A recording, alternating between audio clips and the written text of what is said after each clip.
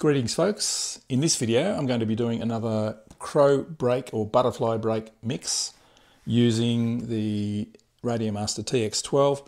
Uh, so what that means basically is using OpenTX or EdgeTX on the uh, small black and white screen.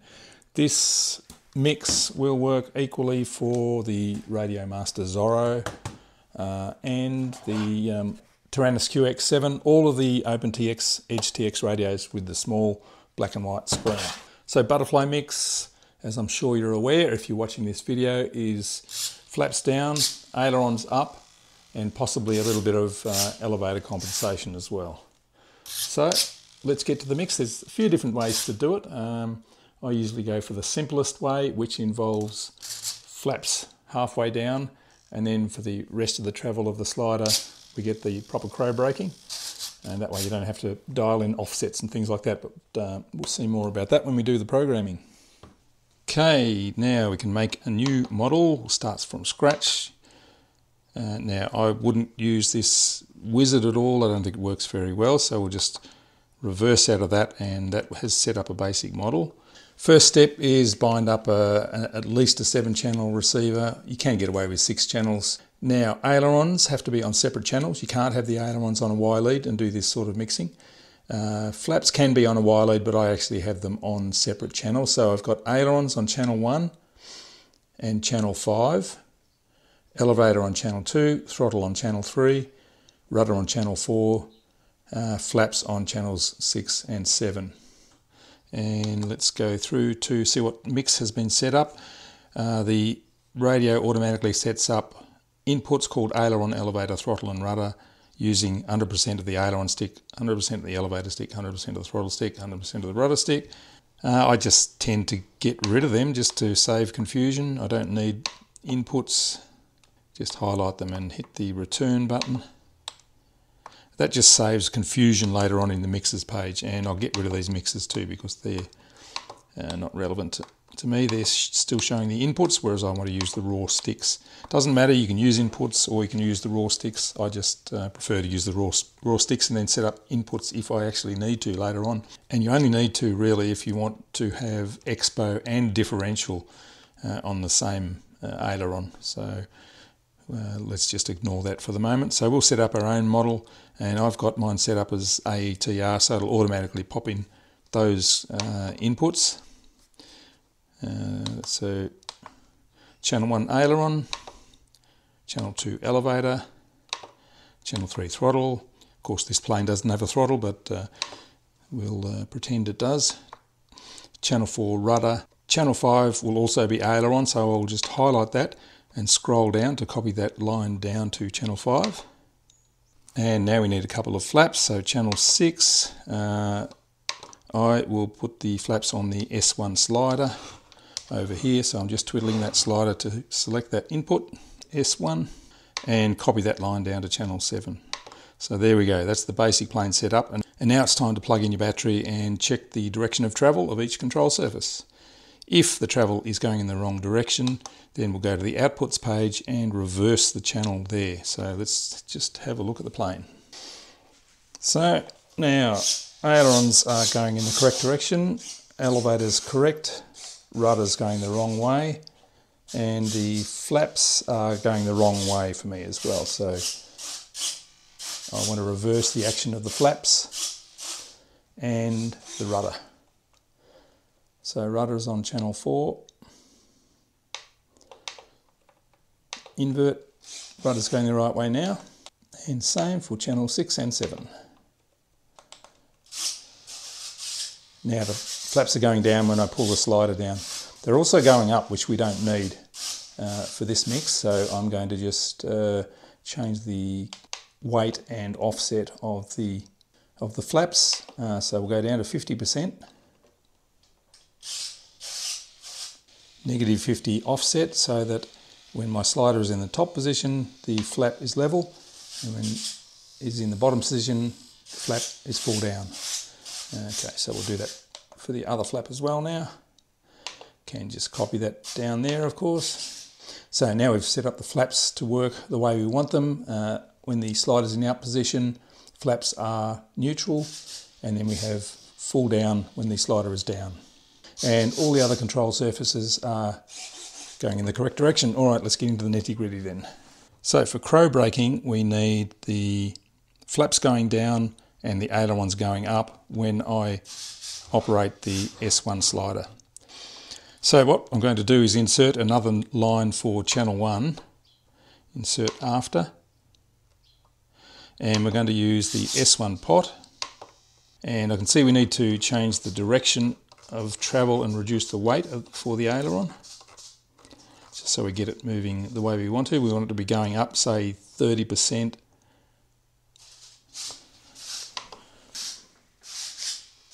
and you can see the aileron's going in the correct direction but uh,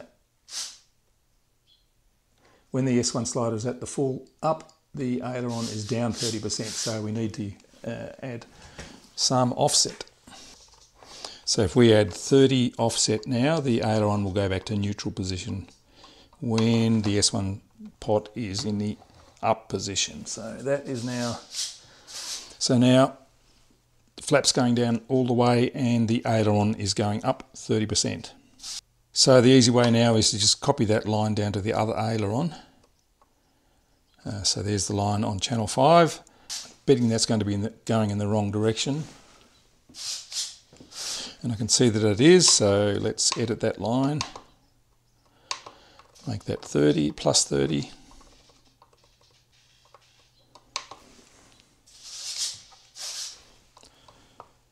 And the offset minus 30. And the ailerons are both now working in the correct direction. So now you can see as I'm rotating the S1 pot down, the flaps are going down and the ailerons are going up. And now the last thing we need to do is possibly add a little bit of elevator compensation because often planes will balloon up when you put the flaps down. So we'll just make the elevator go down a little bit, also with the S1 pot, just to keep the nose down. So what I'll do is just copy this line that we've added to the aileron channel down to the elevator channel and see what that does. And that has the elevator working in the correct direction, but probably away too much. So we'll just reduce the weight and the offset now. So uh, typically you would only need 10 or less, so let's do maybe 5 and offset of 5 as well. And that's all working correctly. So we've got flaps going all the way down, ailerons coming up 30 and elevator going down just 5. So that's a good starting point for crow braking. Now something I often do is uh, limit the up travel of the ailerons to just the lower travel of the S1 pot. So what I can do then is have the flaps going halfway down, just acting as flaps, uh, and then only when I go down past the halfway uh, rotation, we get the crow braking. And, and, that just means that you don't have to worry about all the offsets uh, for adjusting ailerons and elevator. So if you do need to adjust them, uh, it's only one figure you're, you're, adjust, you're adjusting. So I'll start with the aileron line there, edit that, and instead of having the offset, we'll get rid of that. Put that back to zero. And we'll use a curve, a function curve, and we'll use x is less than zero. So that just means that the first part of the S1 action is just flaps and the second part is crow braking. And as I said, it just takes out that need for uh, offset. So we'll just continue on with the other lines. We'll leave the elevator because uh, we may well need elevator compensation for the first part of the uh, flaps action. Offset back to zero. Function x is less than zero. How's that working? So I'll show you what that looks like now. So now you can see we've got flaps, flaps by themselves for the first half of the movement of the S1 and then crow braking when we move all the way down. This gives you another couple of options. Now a few people have suggested it's really good to have your crow braking on the throttle lever like this. Uh, but if you've got a, a, glider with a motor, you still see, need something to operate the motor. Some people say you can use the slider on the side for the motor or a switch for the motor.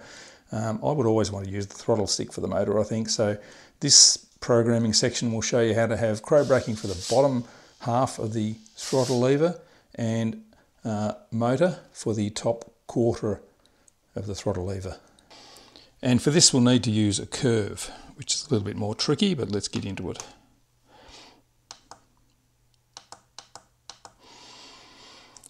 So all I've done here for this line, for the ailerons going up, I have used the throttle lever as the input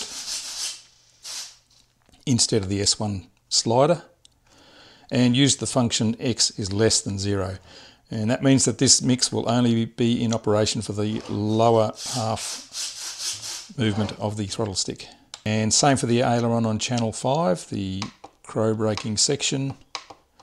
Uh, we just needed 30% rather than negative 30%, and still the function x is less than zero.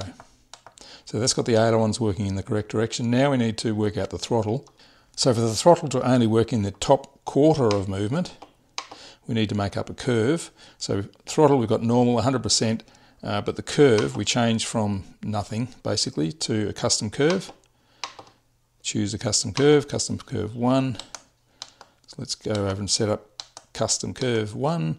Here we go, here's curve 1. And we need 5 points is good. Point 5, we move the y up to 100 so that uh, goes right up there. Actually, let's do it on custom curve 2 to show you what you start off with. So, so the curve starts off like this. And we move the dot across to 0.5 and we increase the y value to 100. 0.4, we drop that right down to minus 100. And same for all the other ones. And we, we end up with this sort of curve where the first four points are down at minus 100, the final point, 0.5, is up at positive 100. And that means that the throttle will only work in that final quarter of movement, top movement of the throttle stick. So there are a couple of programming options for crow brakes. Just remember you have to have the ailerons on Separate channels, can't have them on a Y lead. The flaps can be on a Y lead, that's no drama. Happy gliding, happy landing, and thanks for watching.